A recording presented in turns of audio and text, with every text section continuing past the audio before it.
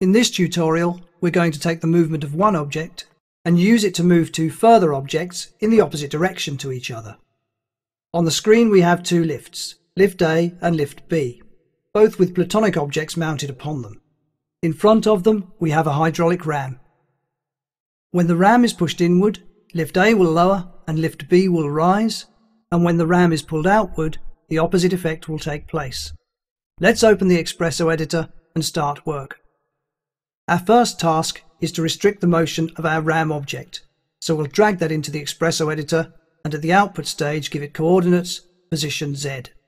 And we'll make it a little bigger as per usual. And as we've done before, we're going to use a clamp node to restrict the motion. So we'll bring that in there and plug our RAM object's output into the value. Before we continue, we'll just check our RAM's position Z and we can see that it currently resides at minus 100 meters. So the minimum value for our clamp node will be minus 100, and then 0 is fine for the maximum. The last thing we need to do is bring in the RAM object again, and at the input stage, give it position Z, and then connect the output of the clamp to the input of the RAM. And that completes the first stage of our expression. And of course, we know that as with the stirrup pump, when we now move our ram in and out, it behaves exactly as we want it to. Our next step is to bring in a range mapper node. Once again, we found a use for one of these. Position that there, and we'll wire the clamp's output into the input. And now we can think about setting it up. Our input lower will be minus 100, obviously, and our input upper, 0. Now on this occasion, we need these two to be percentage values. So we'll come up to our output range here, click on the menu and select percent. And we can see that it's set up perfectly for us. We've got 0% in the output lower, 100% in the upper, exactly what we need. So that's set up. We now need to bring in the key node for this expression, the one that makes it all work, and it's a node we haven't seen before, so it's new node Xpresso, calculate, mix. It's a mix node just place that one there. And we actually need two of these, so I'll copy this one and place that one beneath the other. And we'll have a quick look at the node. This is another example of a node that cannot be modified in any way. You can neither add ports nor take any away on either side there.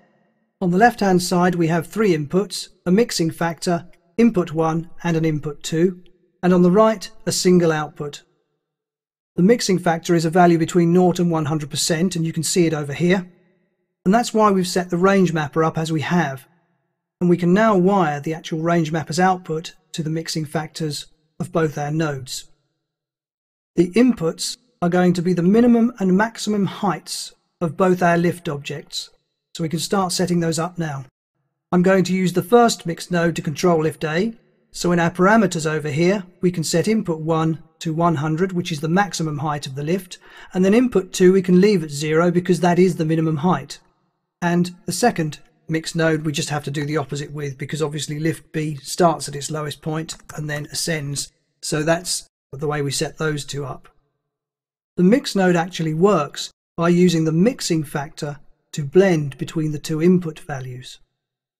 So for example, if the range mapper were outputting a value of 50%, the mixing factor would also be 50%, and at the output stage, we'd get a value of 50 because obviously this is halfway between 0 and 100. So that's how this works.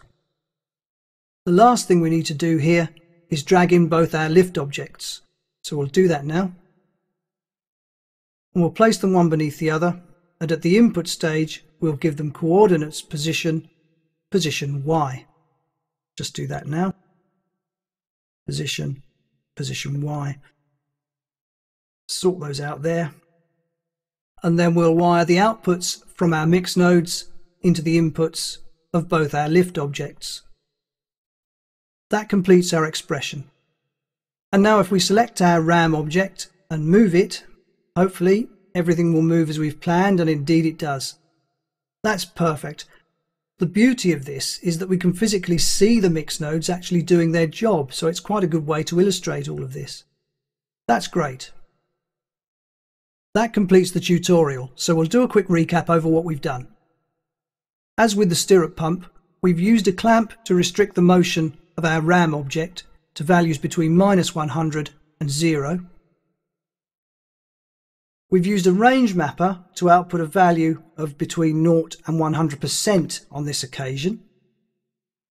We've plugged this into the mixing factor of our mix node, which has then used this number to blend between the two input values and make the lifts ascend and descend as need be. And then these values have been passed to the actual lifts themselves in order to complete this and make it all happen. So that just about wraps things up. Once again, I hope you've enjoyed this tutorial and it's been quite fun doing it. And I'll see you very shortly on the next one.